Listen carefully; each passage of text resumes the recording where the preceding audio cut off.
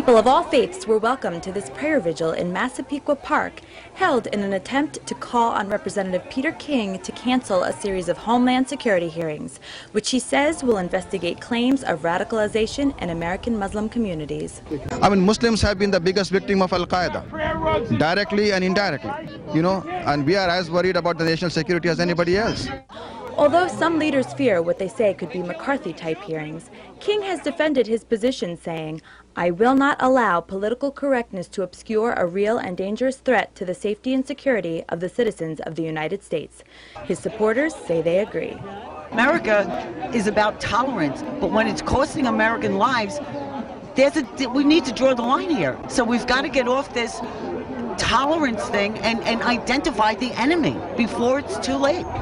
Although most groups say they recognize the need for increased U.S. security against possible terrorists, they say the best possible outcome of this prayer vigil would be the revision of Representative Peter King's planned hearings to a more open-minded solution. I think that the way this has been framed is is uh, too narrow and is not going to make us safer. I hope Congressman King, for the sake of morality, for the sake of national security, and for the sake of his own legacy, uh, will conduct this hearing in a manner befitting this great country and befitting his position.